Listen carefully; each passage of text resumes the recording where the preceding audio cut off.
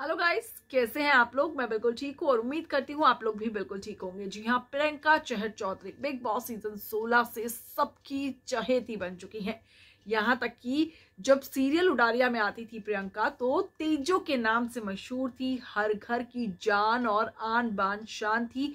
पर जब big Boss season 16 में आई तो मानो प्रियंका की किस्मत ही चमक गई हो। जी हाँ इस शो की तो स्ट्रॉन्ग दावेदार बन ही चुकी है प्रियंका चहर चौधरी। साथ ही साथ उन्हें अब एक बड़ा जैकपॉट भी उनके हाथ लग गया है और ये जैकपॉट है एकता कपूर की एक आने वाली फ़िल्म जी हाँ एकता कपूर शो में आएँगी और ऐसी खबरें आ रही हैं कि वो अब प्रियंका को अपने अपकमिंग प्रोजेक्ट के लिए साइन करने वाली हैं और ये चीज़ जब से सामने आई है, तब से ही फैंस की खुशी का कोई ठिकाना नहीं है। पहले खबरें थी कि प्रियंका को एकता कपूर के नागिन के नए सीज़न नागिन सेवन में देखा जा सकेगा।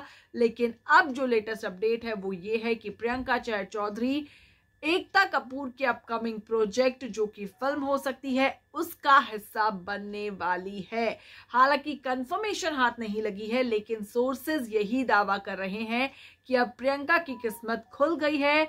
विनर बनने से पहले ट्रॉफी जीतने से पहले वो बड़ा जैकपॉट अपने नाम कर चुकी है और वो जैकपॉट है एकता कपूर के एक प्रोजेक्ट का हिस्सा बनना।